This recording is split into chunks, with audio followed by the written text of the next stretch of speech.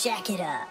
Hurts keeps, Hurts cuts, Hurts has the first down, and Jalen Hurts might have just put it away for the Eagles. Touchdown. Tyrese Maxey and the Sixers are going to win this game.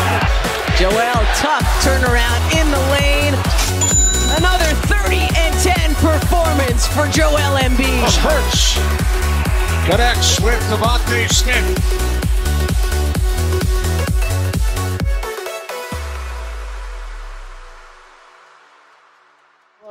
And welcome back to 215 Scoop Podcast. Um, Eagles in the Super Bowl, so that's huge. Um, lots to go into. We're previewing the, the Super Bowl today. Um, going to be a longer episode.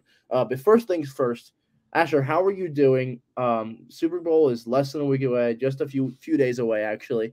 Um, I'm super pumped. Uh, but what about you? Yeah, no, it's uh t- right now today is Wednesday when we're recording. It's actually like a really nice day in Philly. It's like almost 60 degrees. It really seems like the city's buzzing. Mhm. I hear all these people talking about like, oh, the Eagles, even if the Eagles lose, like I'm not going to class next week. Like all the people talking about like what they might be doing for the parade on Thursday. Like Mhm. the city's buzzing. Yeah. Yeah, absolutely. And here I'm I'm here I'm here in State College. Once again, we have a beautiful, beautiful day. But I was at classes today and like really all this week, um, I've been seeing a lot of like Eagles jerseys and Yeah. Eagles merch. So like the Eagles fan base is pretty, pretty big here. Like I I, mean apparently I'm hearing that people are making reservations in restaurants already for the Super Bowl. Know, like they got like huge parties. Like uh I think Champs is the one like sports bar. Yeah. And they already have like a party room for somebody's birthday as well, or like I don't know, like some some restaurants have. I, I, that's what I've heard. I've heard that there's a lot of like Eagles fans trying to party here for the Super Bowl. So, um, but yeah, specifically, what are your plans? What are your plans for the game? I am still I'm weighing out my options between going down to uh, Center City, being in a bar there, seeing like if I could if I could squeeze in one, or Mhm. just going back home and watching with my family. Yeah, So it's kind of I, I want to. It's, such a big game. I want to watch it like just kind of have that memory with my family. They're all big Eagles fans, but then Uh-huh. it's like if they win, like how crazy it would be in Center City. yeah, yeah, I'm, I'm gonna have fun whatever I do for sure. yeah. That's it exactly. Yeah, like I'm debating going to my best friend's house or um or again staying with my family. My family they've never really done anything big for the Super Bowl. Like it was it's always kind of like me, like it's always like my mom, my dad, and then like just the kids. Like that's it. Um, so like this year, like my brother's going away to the mountains and he's gonna be up there for the game. My sister, she's going to her friend's house in Princeton. Um, and yeah, so like my parents were not really doing anything. So they're kind of like telling me like, hey, go find plants elsewhere. So probably gonna go to uh, my buddy's place. Um, that's not too far out of Philly. Um, you know, Jack. Yep. Gonna go his place, and then um, yeah, and then probably go down to Center City if um the Eagles win. Uh, but anyway, uh, re- let's recap this Niners game that happened about a week and a half ago. Uh, in Philadelphia, Eagles won 31-7. Um, really ugly matchup. R- really felt bad for the Niners there. They got stripped down to their fourth string quarterback at one point. Yeah. Uh, they almost had Christian McCaffrey playing quarterback. Uh, so pretty pretty nuts. Um, we thought this game was gonna be a lot closer, but obviously that just did not happen. Um, but your thoughts on that game, Asher? Yeah, I I mean it's funny because I'm thinking back to all the games that we had this season where it was like the Titans game and the Bears Mhm. game and the, the Cardinals game, just like games where it was like, uh, we I mean like we didn't play that well, but we just kind of we just kind of won. Mhm. Like not a whole lot to recap. Yeah, yeah, yeah, yeah, Like I feel the same exact way about the NFC Championship, yeah. but it's Yeah, like, like- yeah, but it's like we just kind of went in and it's like they didn't play that well and we did okay and it's like now we're in the Super Bowl. Yeah, yeah, yeah. Like it's so weird to have that feeling over like one of the biggest games in this franchise's history. exactly. Yeah. Yeah, I mean, again, this is only their fourth Super Bowl berth in their in their like what sixty year history, you know. So, um, well, actually, they're getting they're getting close to hundred years. I'm sorry, they're like ninety something. Yeah, but I mean, the Super Bowl's been the Super Bowl fifty seven, so fifty seven. Yeah, so like only fourth Super Bowl berth in the Super Bowl era. So like again, this is a rare occurrence, and it's really weird. Like my feeling after last week, it was like, oh my gosh, yeah, like oh my god, we're going to Super Bowl, but like it didn't really hit me. because it didn't feel like you know like that Vikings matchup back in 2017. Yes. I didn't get the same exact like thrill because it was like it got too easy with Josh Johnson in quarterback playing. We're playing against Josh Johnson. Um, so like I don't think that's much of a competition. It was either him or a rookie quarterback and Brock Purdy, who like everybody again was hyping up, but he was dealing with a UCL tear. yeah, I mean that, that play was pretty ugly. Haason gets Yeah. him basically immediately, hits him while his arm's going back. He punches Mhm. the football forward for a fumble. So they turn the ball over. Their only reliable quarterback left on the roster they can't throw beyond like two yards. Mhm. And like as soon as that you see him come back in and they're down, they're down what, 20? They're down 20 points with like five Yeah. minutes left. They're handing the ball off because he can't throw. Right. Yeah. They're not even it seemed like anymore. this game. It seemed like this game. It feels like this game was like over after the first 15 minutes. After the first Yeah, quarter, as, like, as soon as that Purdy like, injury happened, it. my brother, my brother just goes, "It's over."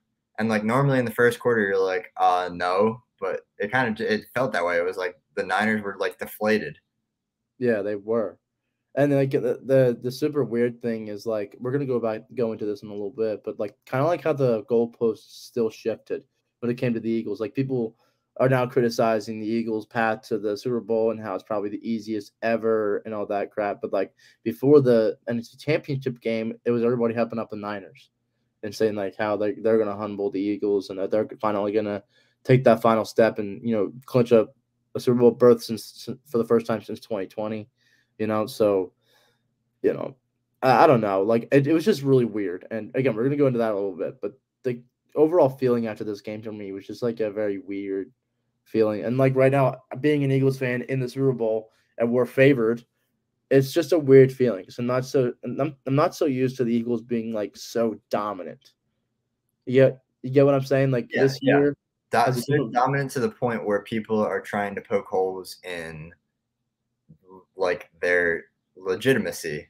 Mhm. Where they're trying to say, "Oh, well, they didn't play anybody yet," or Mhm. you know, the rush defense in the middle of the season was kind of suspect, even though like it's really good now. Mhm. Or I don't like the pass defense has been good all season, but like Mhm. this game it might be bad. I Yeah. mean, there's nothing you can really say like this is a weakness for this team.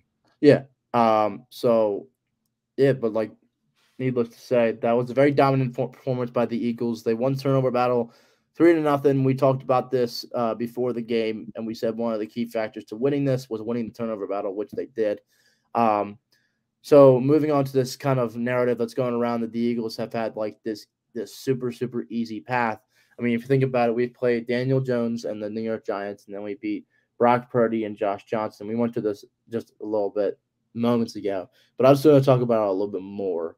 Um, do you think there's legitimacy to this argument? Like, do you think the Eagles did have a super super easy path? Because I mean, I kind of agree, but it kind of aligns to like what's been said about the Eagles all season in terms of their strength of schedule. I mean, we all know the narrative that's being pushed pretty much all year long. So, like, I'm getting the same kind of feeling here.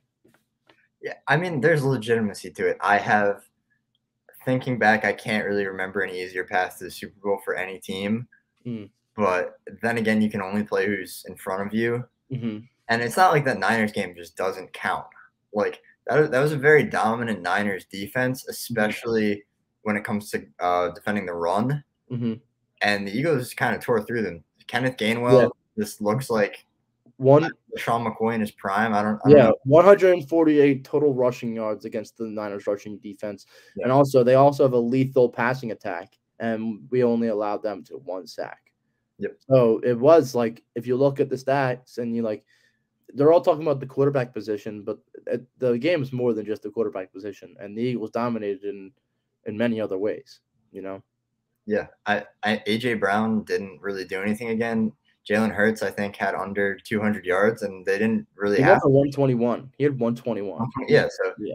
we were just like the pace of play, hmm possession of the ball, like it was Mhm. all very, it was very uh, methodical. Like we, I think even if Purdy had played that game, the. Eagles just seemed more in control. Yeah, absolutely.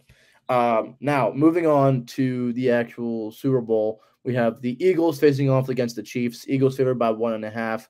Um, the storylines are like loaded when it comes to the Super Bowl. We got Andy Reid, who used to coach for the Eagles. uh, you know, facing off against his former team, and then you got the brothers, which I'm sure if you've been on social media at all this week, you've probably read something about them. Um, the media has been, you know, all over that story. So we got Jason Kelce, Travis Kelce, who are brothers going up against each other in the Super Bowl. So that's a unique um, dynamic right there, something that's never happened before. Um, and then on top of that, we have um, a little bit of a story behind Nick Sirianni and his um, ties to Andy Reid and a little bit of a revenge game there. So lots of storylines here, but specifically Asher, I know you wanted to go back to like 2012 to when the Eagles first fired Andy Reid and kind of like the journey since then. Yeah.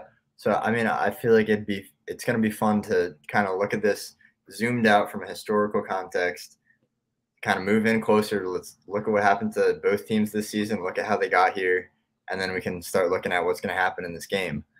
But 10 years ago, Andy Reid had probably really his first bad season as Eagles head coach. Mm-hmm. You know, over a decade, the Eagles were just dominant in the 2000s, mm-hmm. made it to the Super Bowl, lots of uh, NFC championship appearances, mm-hmm. never could really seem to get over the hump a lot of bad losses in the NFC Championship, and finally yeah. one four and twelve season, and he's gone. The Chiefs pick him up. The Chiefs trade for Alex Smith, and this is a Chiefs team that went two and fourteen the year before and was the mm-hmm. worst in the league. Mm-hmm. So they trade for Smith. They they hire Reid, and from then on, they're pretty much consistently a playoff team, around ten to twelve wins every year from 2013 to 2017. But they're always losing in the divisional or the wild card round.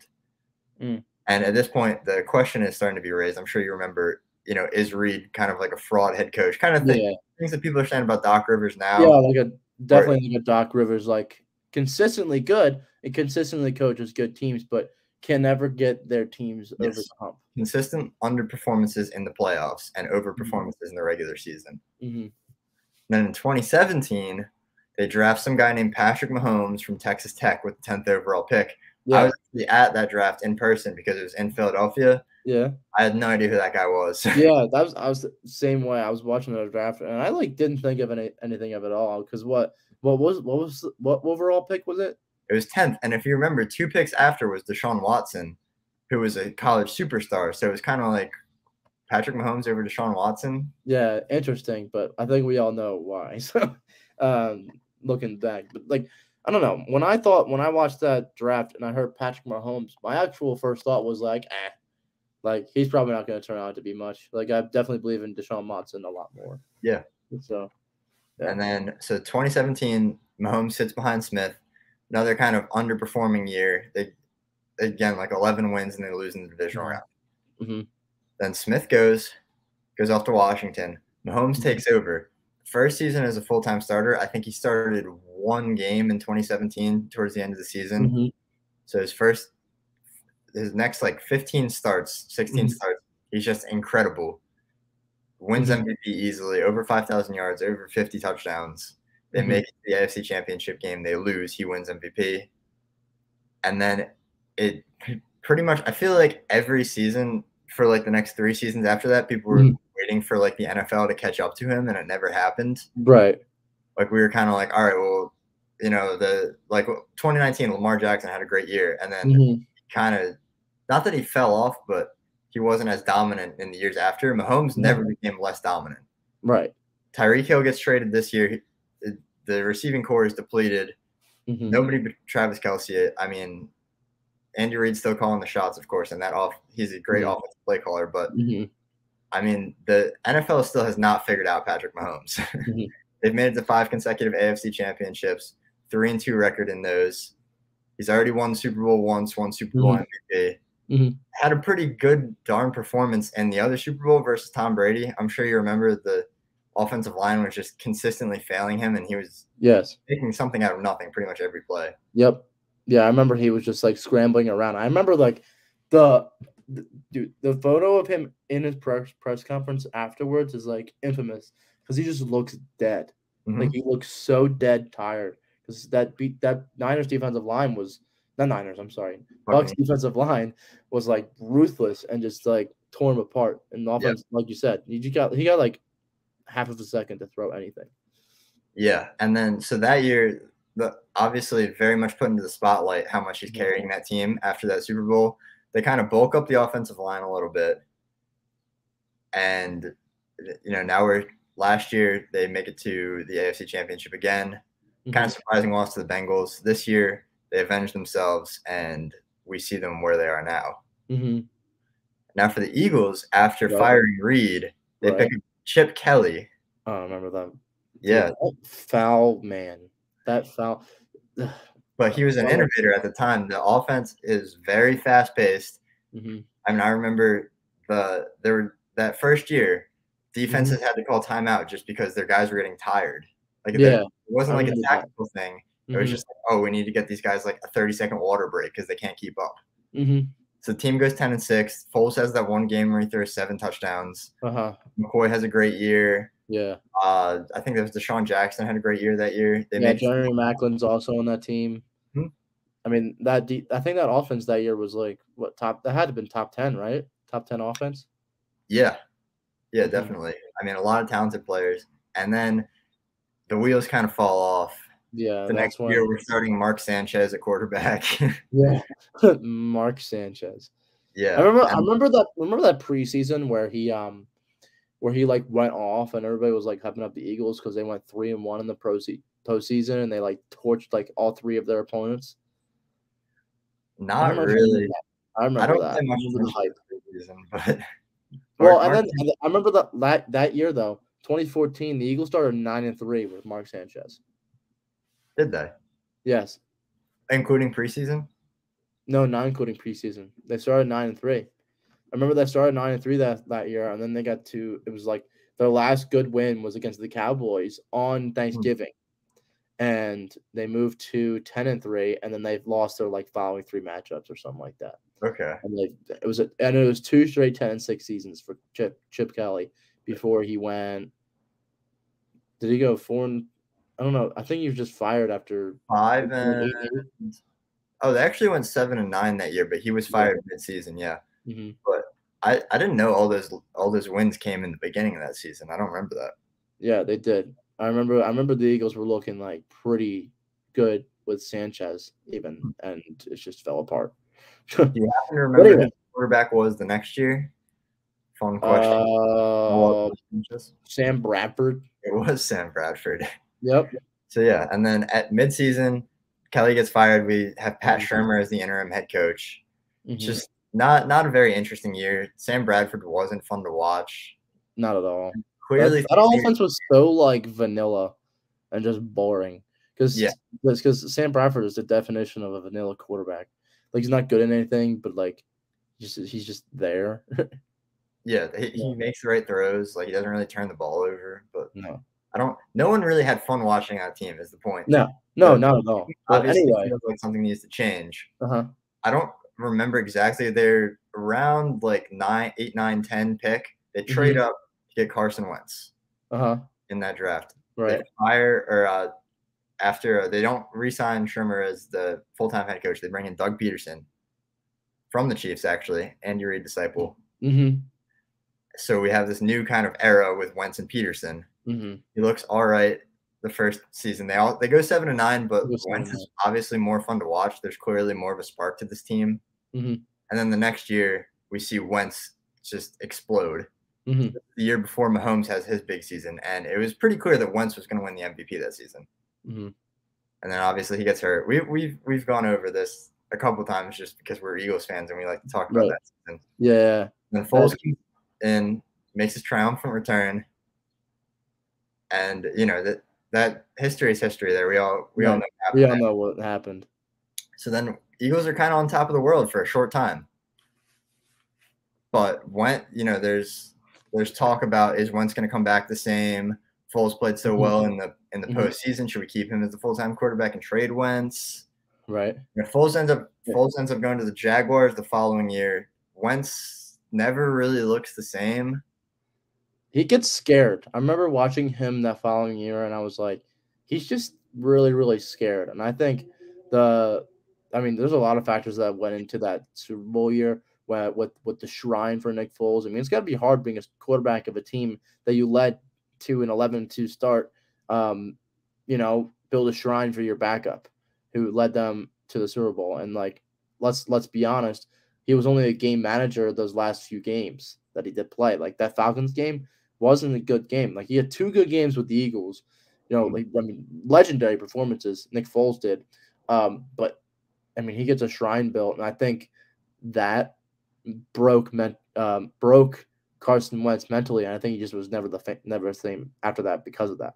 Yeah, of all the of all the unfair things to happen to professional sports players Uh-huh. in like the time that I've been watching sports, that definitely ranks up there. hmm Having to at, getting your MVP taken from you because of an injury, having Mm-hmm. to watch your backup win Super Bowl MVP, and obviously like you get a ring, it's fun, but then to come back and just never reach those kind of same heights again, hmm and then the fan base kind of turned on him for reasons that I still don't really understand. hmm I, I thought you know, he, he was never like I give up, like I can't do this anymore. Well, I remember I remember the the couple of years, you know, between twenty like from twenty eighteen to twenty nineteen, you know, like those two seasons before we were like really bad.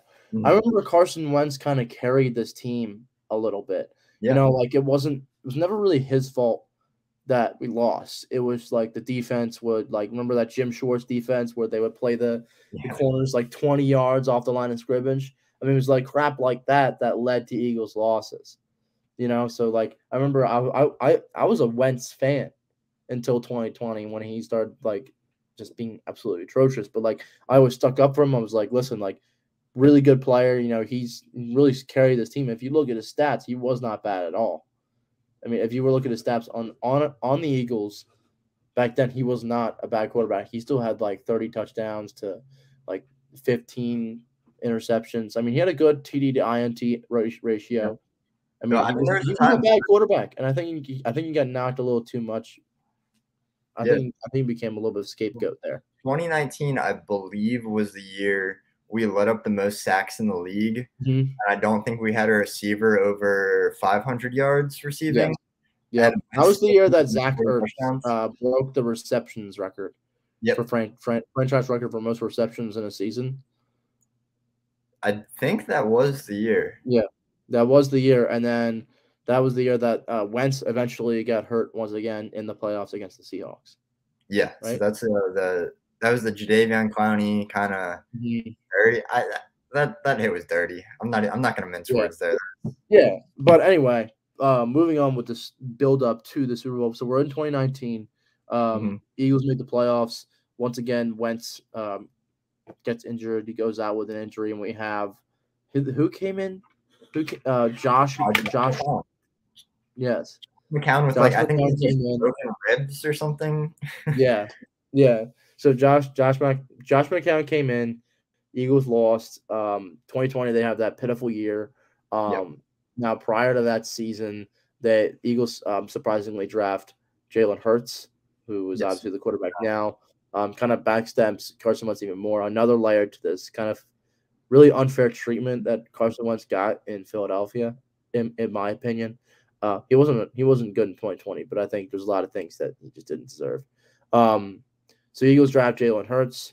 Um, Wentz obviously gets benched week like 14 of the season.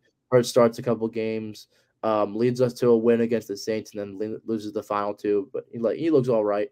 2021 last year, Eagles are supposed to be a rebuilding team, really projected to be like a three or four win team. We Right. ship Wentz off to the Colts. Yeah, um, and then to the franchise. yeah, and then Jalen Hurts leads us to the playoffs. Nine Yeah. and eight after starting what three, two, Uh, two and five. We started two and five, and we finished and Doug Pederson. We fired Doug Pederson, Mm-hmm. which at the time a lot of fans were not happy with. You know, he's Mhm. only three years removed. What Wentz clearly, you know, the injuries left him not the same. Mhm. A lot of people said, you know, Pederson's only three years removed from being a Super Bowl winning head coach. Right. Like it's not really a lot of the things that happened with this team were out of his control. Mhm. And then we bring in Nick Sirianni, who not you know, no one was really happy to have him. Mm-mm. he was the Colts offensive coordinator for like a Colts team that was like okay, like in the post luck years. And you remember Mhm. that first uh that first press conference, he's like Mhm. tripping all over his words, he's stuttering. Yeah, stuttering and like he's making like these quirky and corny like catchphrases and Mhm. metaphors, like planting a seed and like growing. Like I, I remember that. Yeah. What? he was he was like this team's gonna be a flower that grows or something. Yeah, it's gonna be a flower that blossoms, and it's, it's like the team's gonna blossom. Like if I, well, the team has blossomed. That's for damn sure. Yeah. Um. So we have that. We have Nick Nick Sirianni looks like a bozo. Which, by the way, um, I mentioned this earlier, I think, but I don't remember. Um, but he used to be the wide receivers coach on Kansas City, and Andy Reid actually fired him. And actually, Nick Sirianni was the coach of the Kansas City Chiefs, um, was a wide receivers coach for the Kansas City Chiefs back in 2013 when they had no no touchdown receptions by a wide receiver. Yeah, so that's that's interesting. 2012, the year before they brought Reid in. Yeah. Yep, but um, Sirianni was let go by Andy Reid um, once Andy Reid was brought in, so that there's a little bit of a revenge factor here for Nick Sirianni here uh, as well. Um, but yeah, where were we in the recap? Uh, that was basically it. So then Hurts has his has his big year this year. Mm-hmm. It's pretty much just him and Mahomes in the running for MV, MVP. Mm-hmm. No, and, and, at the beginning of this year, if, if, we could just talk about like the expectation mm-hmm. this year, the I mean, you and I projected the Eagles to go 10 and 7, 11 and 6, and that was being yeah. pretty optimistic. Yeah. You know, I think we, I remember we were questioning ourselves like, are we being a little biased saying this team is going to have 11 wins? Right. Yeah. No. And I mean, they went out. I mean, I remember a lot of the preseason predictions, like league wide. I mean, there was this hype about the Eagles going into the season. And like, mm-hmm. to be honest, I was sitting there kind of like, I wasn't sure why the Eagles were getting all this hype. Um, yeah. But I mean, sure enough, I mean, I predicted them to go 11 and 6, I believe, to still clinch the NFC East, but I, I think I had them winning maybe one playoff game in the wild card round and then getting eliminated divisional round. Yeah. Um, but looking at that in retrospect, um, I think I think we both severely under underestimated this team's abilities. that and then also I think a lot of teams like I said the Packers are going to win the NFC North. Mm-hmm. We, we, both thought the Bucs were going to win at least like 12 games. The Rams, mm-hmm. same thing.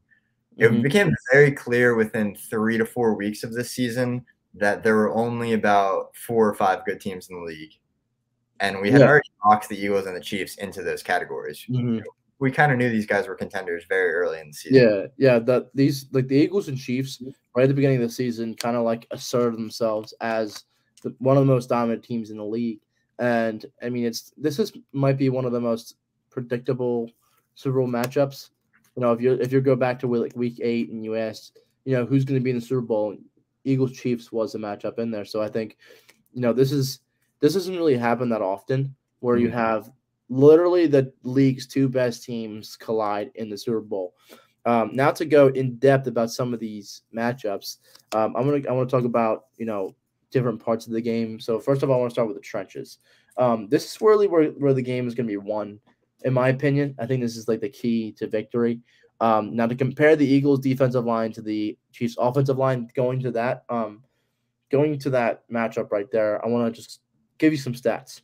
Um, so the Chiefs have a 74.7% pass block win rate, which is the best in the league.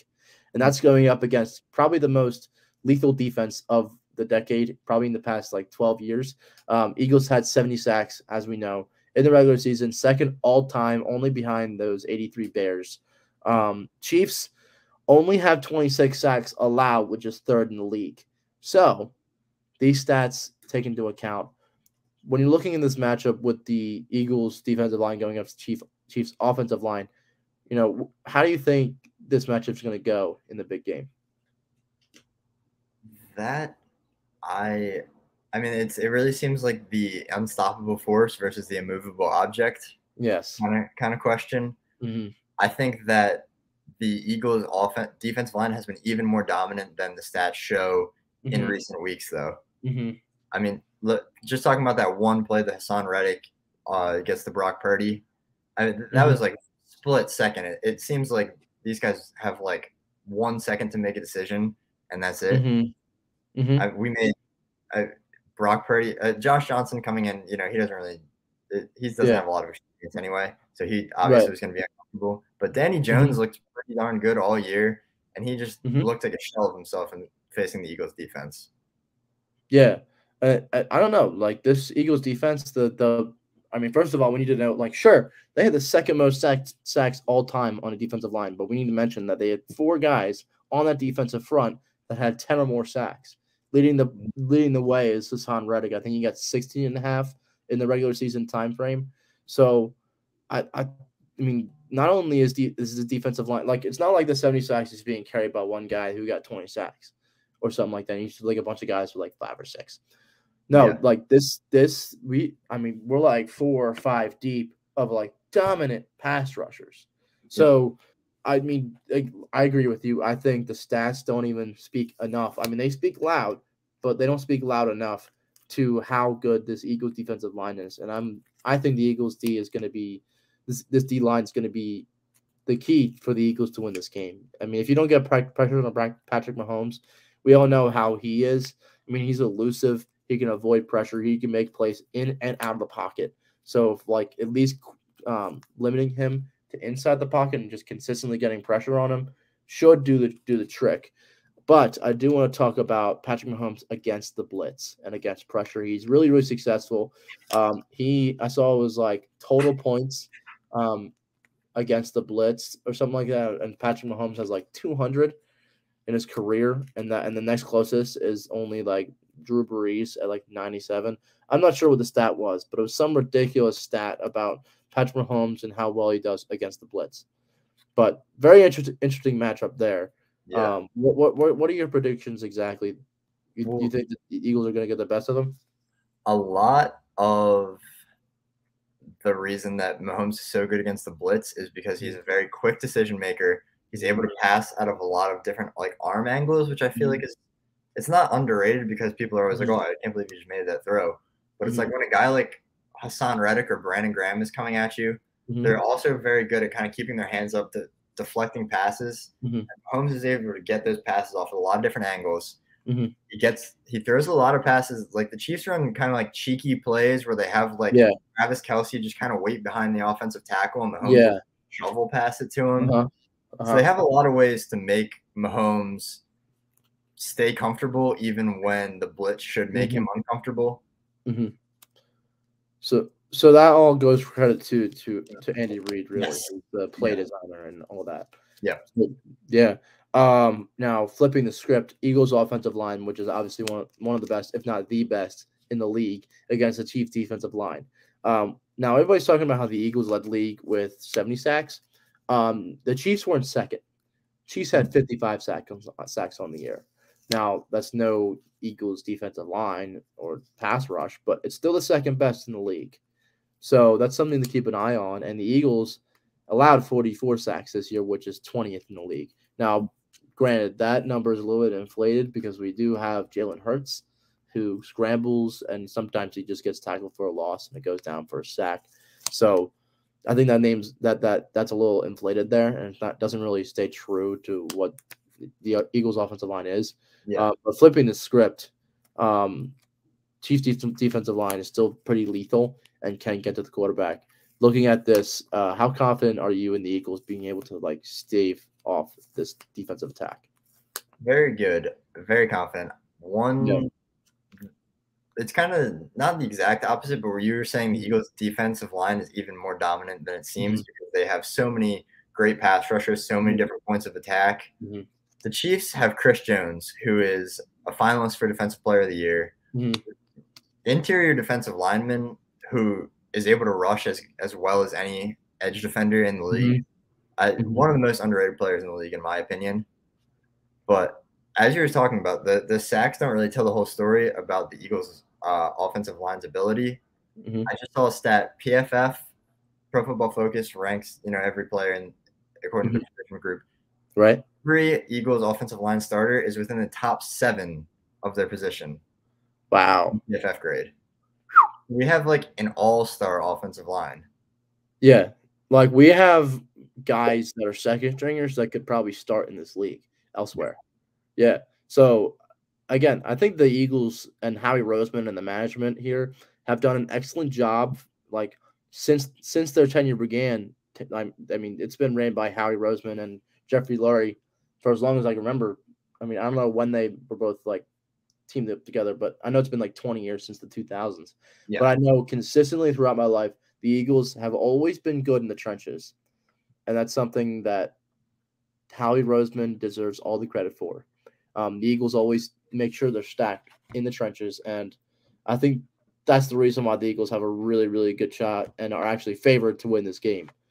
Um, now, shifting to the offensive side of the ball, um, I want to talk about the offenses, and both of these offenses are super, super dynamic. Again, we have two of the front runners for MVP and Patrick Mahomes and Jalen Hurts going up head to head, um, and just just the two most explosive offenses in the league. To give you some stats behind this, um, the Eagles averaged two, 12.5 yards per completion, which is second in the league, um, and they have 80 explosive plays. Um, explosive play is 20 yards or more. Eagles have 80 of those in this season, wow. Um, second in the league. But that's only second to the Chiefs, who have 83 explosive plays. Okay. Um, and then the Chiefs also have 12.1 yards per completion, which is fourth. So two high power offenses, explosive offenses clashing. Uh, and just another another matchup that's super super tight that makes this game like super unpredictable. Um, now, who do you give the edge to and why? I'm gonna give it to the Eagles based off of one thing, and that is injuries or lack thereof. Mm-hmm. Mahomes, as we know, it's been pretty well chronicled. He still kind of has that bum ankle. Yeah. Um. Speaking of that, today he spoke on that. Um. First of all, he's full participant in practice today. Hmm. Um. Second of all, he said he feels pretty good, and he says it shouldn't hold him back on Sunday. Okay. So about that ankle injury, I really don't think that's going to be a factor in this game. All right, I might have to. I might have to recalibrate my uh who I give the edge to. But also Juju Smith Schuster, who is the uh, Chiefs' leading receiver outside of Tra- Travis Kelce, mm-hmm. he's questionable for the game. Mm. Darius Toney, who is just super explosive with the ball in his hands, mm-hmm. also questionable. Mecole Hardman, who's one of the fastest players in the NFL, is out. He's on IR. Mm-hmm. So Mahomes already kind of had a limited supporting cast outside of Travis Kelce after Tyreek was traded, and even more so for this game. Mm. One thing that kind of takes away that uh, mitigates that though, right? The Reid, Andy Reid has gone even further to make Mahomes comfortable. He has in the postseason, if you took his postseason average depth of target, mm-hmm. he and you put it across the whole regular season, he would actually have the lowest average depth of target in the NFL. Really? So it's a lot of little those little throws, those little Uh-huh. screens behind the behind the offensive line. Uh-huh. A lot of throws to guys like Travis Kelce who can just Mhm. make plays with the ball. Mm-hmm. And in addition to that, Isaiah Pacheco Mm-hmm. is one of the leading NFL players in yards after contact, broken tackles. So there's not a whole lot of things you can do tactically. The Chiefs just kind of beat you down and outthink you. It's just more like ath- pure athleticism and like just playmaking. I mean, there's so many playmakers on that team. I mean, we went to this year thinking that the that the Chiefs would like kind of slump a little bit without Tyreek Hill. I mean, Tyreek Hill and Patrick Mahomes, they were like easily one of the best, if not the best duo in the league for the past few years. But now that he was gone, I was I mean, again, remember back in back in August, we were we thought the AFC West was going to be like super good, but It was wide. It was wide open. We didn't know they were going to win. yeah, but the Chiefs won it easily. Mhm. Um, and I mean, here we are. They're back in the Super Bowl. Um, and that's all because they just have an insane amount of playmakers and a genius offensive playmaker. Offensive, up- yeah, play calling. Yeah, play play caller, play designer, I should say. So, um, but yeah, so um, another thing I want to talk about, another matchup is it, these teams in the red zone, and this, I mean, we uh, thus far, I mean, we're looking at it, and it's kind of like eye for eye. These two teams. This is where the gap kind of widens a little bit. Um, the Chiefs' red zone defense is among the worst in the league. Um, they allow a touchdown on appro- approximately 68% of drives um, that go into the red zone. So Chiefs' red zone defense is absolutely office, awful. Um, I have not gotten the stats on the Eagles' red, zone- red zone offense. Um, I have to retrieve those. Um, but on the opposing side, the Eagles' red, red zone defense is ranked 12th. So percentage there? Do you have um, the? the percentage, I don't I have to get percentage off the top of my head. Um, but I think it's around a lot around the likes of like 30 or 40 percent. Okay, so it's or something like that. Um, but yeah, the big difference here, and I think will also play a factor, is the red zone defense. Um, Okay. The Chiefs are weak, and the Eagles are rather strong, um, just because of the Eagles' superior passing attack, which actually is in question. Um, another narrative that's coming around this week is I'm seeing all the talk show hosts trying to be different because the Eagles are favored. So now they're trying to come up with an excuse that the Eagles might lose, you know, because they all want to be different. Um, it's questioning the the the validity of the elite name, the elite label that the Eagles pass defense gets. Now, this is partially due to the quarterbacks that they have faced. Um, the best quarterback that the Eagles have faced this season is Kirk Cousins. Kirk Cousins, like the the big like the best group, Kirk Cousins, Dak Prescott, you know, that tier of quarterback. Other than that, we played people the likes of Daniel Jones, um, Taylor Heinicke, um, again, Josh Johnson, Brock Purdy, you know, like that tier of quarterback. So people have a point. They say that the Eagles have not really faced um, very good quarterbacks. And when they have even faced quarterbacks in a even a, a, a above average above average proficiency offense. You know, you get what I'm saying? Yeah, like the kind of like the next A step some- of quarterbacks. So like a quarterbacks in a somewhat proficient, um, efficient offense. Yeah. The Eagles are like they rank like they have like horrible numbers against, Hmm. but they could easily contain you know Tyler Heinicke, Davis Mills, stuff Okay. like that. So now people are questioning the validity of the Eagles' pass defense. What are your thoughts on that? And I, I I'm sure you've read things about this. Yeah, I mean, honestly, it kind of builds on the point that I just made last time. I Mhm. really don't think there's any consistent way to stop an offense led by Patrick Mahomes. The plays are called by Andy Reid. You Mhm. have Travis Kelce. Travis Kelce is one of the most unstoppable players in the Mhm. NFL. Mhm. I mean, uh, it, with all the injuries and the Tyreek Hill gone, you would think teams would just be able to key in on Travis Kelce and Mhm. just stop him. But there's so many. Uh, Andy Reid is so smart. Patrick Mahomes is such a good quarterback. There's Mhm. so many ways to get Travis Kelce the ball. Yeah. The, his one game this season that he had under 40, or I think it was, he has like three games under 50 receiving yards. His Mm-hmm. worst one, he had 25 receiving yards. That game, he caught four touchdowns. Yeah. It's like if you stop him one way, they'll Mhm. just give him the ball in the red zone. They'll throw him a shovel pass. Yeah. There's really no way for even the best pass defenses. I mean, they they lit up the Niners. You remember that game against the Niners? They scored Yes. 44 points. Mhm. Very difficult to stop Mm-hmm. offense. You can only hope to contain them. Yeah, exactly. That's like I think the Eagles defense is going to have to play like more of a bend don't break, and you know, let's just go into like some keys, um, keys to the game here. I think the Eagles again have to get out to an early lead. They have to get the momentum. While they're not the Lynx, the momentum might not do that much for them. I think there's going to be a lot of Eagles fans that are going to be in Arizona, um, for that game. Um, but again, against the Chiefs offense, you can't be caught sleeping. Um, again, like you just know, like you just noted, it's very explosive. Um, you know, I mean, the most most explosive plays in the league, they can really just come out of nowhere and just, you know, beat you down. So I think the key to this game, again, same as the NFC Championship game, is to get a turnover and get ahead early.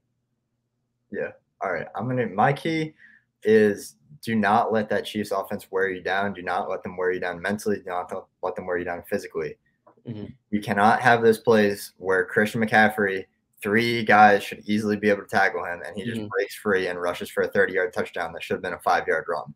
Yeah, and the, the, the, You can't do that. You can't let Mahomes do that in space. You can't let Travis Mhm. Kelce do that. You have to make solid tackles. You can't be discouraged when you know it seems like you have them bottled up and Mahomes makes some crazy play. You know, you just got you got to. It, the whole defense has to be focused. TJ Mhm. Edwards is going to have to have the game of his life. right. A lot of things are Yeah. going to happen.